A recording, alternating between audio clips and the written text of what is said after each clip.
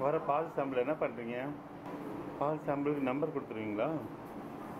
ஆமாம் நம்பர் அந்த இது யார் பாலில் சொசைட்டி வரைய நம்பர் நம்பர் வச்சு பாலை டெஸ்ட் பண்ணுறீங்க ஆமாம் டெஸ்ட் போகிறோம் ம் எது டெஸ்ட் பண்ணுறீங்க ஃபேட்டு எல்லாரும் எஸ்என்எஃப் எஸ்என்எஃப்? ஓகே இது பால் சாம்பிள் பாருங்களா? ஆமாம். சரி பாருங்க. என்ன பாருங்க?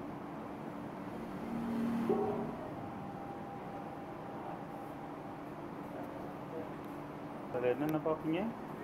எல்லாரும் ஃபேட்டு எஸ்என்எஃப் எல்லாம் ஃபேட் எஸ்என்எஃப் ஆறு புள்ளி ரெண்டு. எஃப்ங்கிறது ஃபேட்டு இது வந்து ஃபேட்டு சார் எஸ்என்எஃப் இது வந்து எஸ்என்எஃப் டி வந்து எல்ஆர் எல் சார் இது வந்து வாட்டர் ஆயிடுங்க வாட்டர் ஆடிங் தண்ணி ஊற்றிருந்தா தெரியுமா? தண்ணி ஊற்றிருந்தா இத்தனை பர்சன்ட் காமிச்சிருச்சு சரி. நாற்பத்தாறு நாற்பத்தாறு அஞ்சு.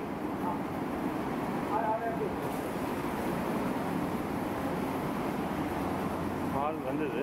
பால் கலெக்ட் பண்ண பாலை வந்து பே பண்ணிட்டாங்கல்ல. எடை போட்டு எடை போட்டு இதில் ஊற்றுறீங்க இதில் வந்து துணி கட்டுறீங்க அந்த அழுக்குலாம் இருக்கிறதுக்காக ஓ சரி சரி சரி. நீங்கள் எடை எவ்வளோ பாலுங்க குறிச்சிக்கிறீங்க? நாற்பத்தி ஆறு.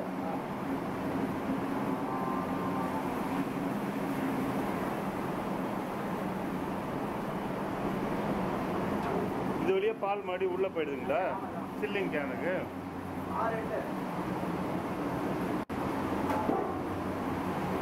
ஓ. இது வந்து சில்லிங் கேன். ஊற்றுற பாலில் இது வழியே தான் போகுது. பைப் வழியாக போய். இது மோட்டார் இந்த மோட்டார் மூலம் தான் மேலே தள்ளுதுங்களா? இந்த மோட்டார் மூலம் பால் மேலே போயிடுது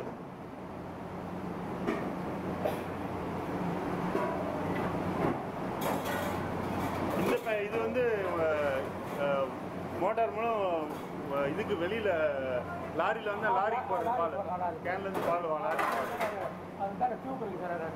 சார் சரி. லாரிக்கு லோட் ஆகி. எத்தனை நாளைக்கு ஒரு வந்து இப்போ லோட் பண்ணிட்டு போவாங்க. அன்னைக்கு வந்து? ஓ கெப்பாசிட்டி பத்த மாட்டேங்குது.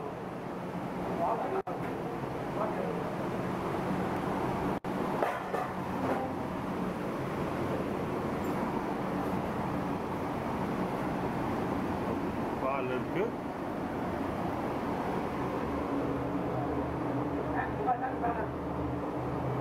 அடியில் வந்து ஒரு இது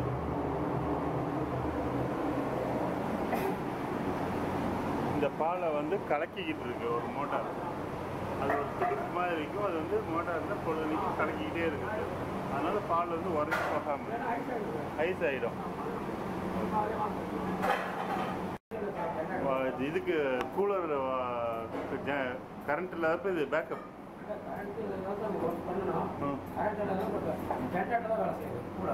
ஜென்ரேட்டர் இது? பின்னாடி வச்சிருக்கீங்க. அது ஆட்டோமேட்டிக் ஜென்ரேட்டரா கரண்ட்லாம் ஆட்டோமேட்டிக்காக அது ஜென்ரேட் ஆகிட்டு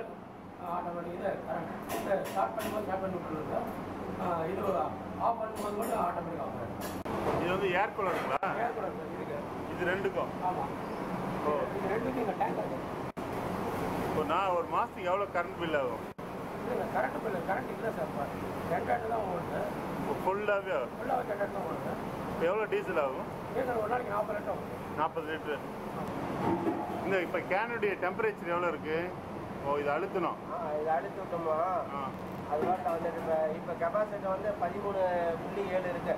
இல்லை டெம்பரேச்சர் டெம்பரேச்சர் வந்து பதிமூணு புள்ளி ஏழு டிகிரி சென்டிகிரேட் இருக்குது ஆமாம் இருக்குங்க டெம்பரேச்சர் எவ்வளோ செட் பண்ணியிருக்கோம்? ஃபோர் ஃபோர் டெம்பரேச்சர் ஃபோர் நாலு மில்லி நாலு நாலு சென்டிகிரேட் நாலு சென்டிகிரேட் எது வரைக்கும்? நாலு டு மூணு டு நாலு. அந்த ரெண்டுக்குள்ளே மெயின்டைன் பண்ணிக்கணும். இல்லாட்டி ஆட்டோமேட்டிக்காக இதாக வைக்கும் ஆட்டோ கண்ட்ரோல் வந்துருக்கு சரி. பால் ஜீரோ போச்சுன்னா முடிஞ்சு போச்சு வயசாகிடும் சார் வேற ஒன்று சரி ஆமாம் சார் பவர் இல்லை ஆ. சார் இது கூலிங் சார் கூலிங் இதுக்காக சில்லிங்காக புரியல. அது எதுக்கு க வந்து ரன் ஆகிறதுக்காக இது. இதுங்களா? பவர் கண்ட்ரோல் இல்லை.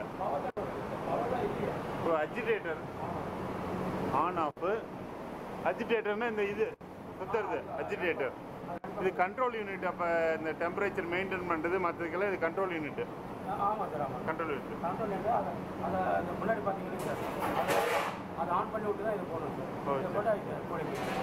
சார். இதை எவ்வளோ கெப்பாசிட்டி சில்லிங் யூனிட் கெப்பாசிட்டி ஐயாயிரம் கெப்பாசிட்டிங்களா ம் ஐயாயிரம் லிட்டர் கெப்பாசிட்டி சார். ஒரு நாளைக்கு வந்து நாலாயிரத்தி எட்நூறு வந்து எழுநூறு நீங்கள் ஃபில் பண்ணுறீங்க டெய்லி அன்னன்னைக்கு பால் எடுத்துட்டு அன்னன்னைக்கு டேங்கர் வந்துடும் சார். எடுத்துட்டு போயிடுவாங்க. அதுக்கப்புறம் அதை எப்படி கழுவுறது இப்போ சுத்தம் பண்ணுறது அதில் வந்து இந்த டே டேங்கரில் பால் ஏற்றின உடனே உள்ள ஒரு ஆள் இறங்கி அதை வந்து பூரா வந்து க்ளீன் பண்ணும் சார். ஒரு ரெண்டு நாளைக்கு மூணு நாளைக்கு ஒரு ஹாட் வாட்டர் போட்டு நல்லா பூரா வாஷ் பண்ணி விட்டு அதுக்கு வந்து இது இருக்குது சார். டீப்பால்னு ஒன்று இருக்குது சோப்பாய் அதை போட்டு டெய்லி வாஷ் பண்ணுவோம் சார். அதே மாதிரி வந்து அதுக்கு வந்து இது இருக்குது சார். ப்ளீச்சிங் வாட்டர் அது. அது நல்லா போட்டு. ஆளாக தான் உளுந்து கழுவுறது. Mechanic mechanic. எதுவும் இல்லை. சார் சரி சரி. மெக்கானிக்கும் ஒன்றும் இல்லை. இது எவ்வளோ ஆகுது இந்த இது மாதிரி ஒரு ஐயாயிரம் சில்லிங் எவ்வளோ ஆகுது இது வந்து எல்லாம் ஃப்ரெஷ் பீஸு சார் பதினாலு பதினாலு லட்சத்தி தொண்ணூறாயிரம் ஒரு ஆச்சு மிஷின் இது மட்டும்.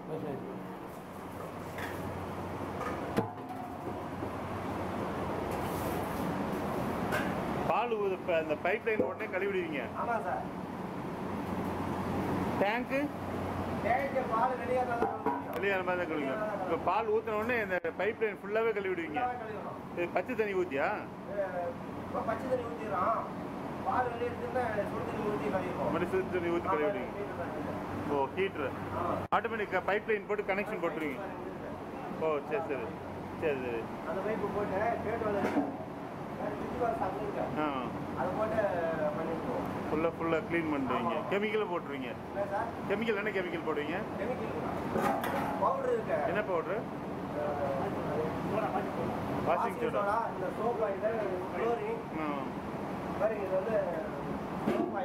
soap oil அப்புறம் வந்து இது சரி சரி சரி.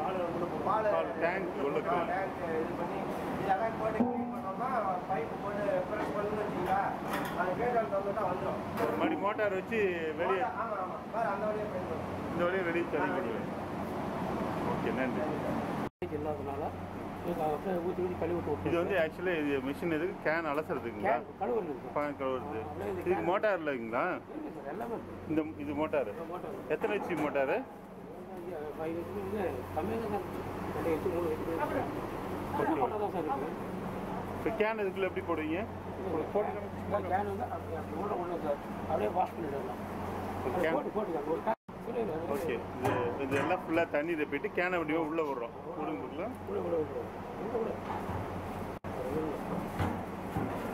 விட்டோன்னா அப்படியே ஒரு ஆள் அழைச்சிருக்கு பூரா அப்படியே அழைச்சிடும் ஓகே இப்படி விட்டோன்னா மோட்டார் போட்டோன்னா இது சுற்றுமா தண்ணி ஃபுல்லாக இருக்குது சார் ஓகே ஓகே. ஓகே உங்களுக்கு ஃப்ரீயாக சுத்தம் கேன். கை கை இல்லை கை இல்லை. ஓகே. இப்போ என்ன பண்ணால் மோட்டருக்கு இந்த கேனுக்கு உள்ளே இருக்கிறதையும் கழுவிடுது. அந்த வெளியே வெளியில் இருக்கிறதும் கழுவிடுது. அடியில் ஒன்று இருக்கு. அது சுற்றி கழுவிடுது. இருக்குது ஓகே ஓகே ஓகே. இந்த தண்ணி கழுவுற தண்ணி அந்த பக்கம் வெளியில் கீழே போகிறதுக்கு அந்த பைப் லைன் இருக்கு ஆமாம் சார் அதாவது ஒரு ஒரு ஐம்பது அறுபது டேங்க் கழுவுனோட்டி அப்படியே தண்ணி போயிட்டே இருக்கும் ஆள் வச்சுட்டு வரதோட மிஷின் வச்சுட்டு வர்றது ஈஸி வரும். இது எவ்வளோ காஸ்ட் ஆகுது விலை எல்லாமே மொத்தமே வந்து பதினாலு தொண்ணூறு ஆகுது. நல்ல விஷயம். தேங்க்யூ நன்றி.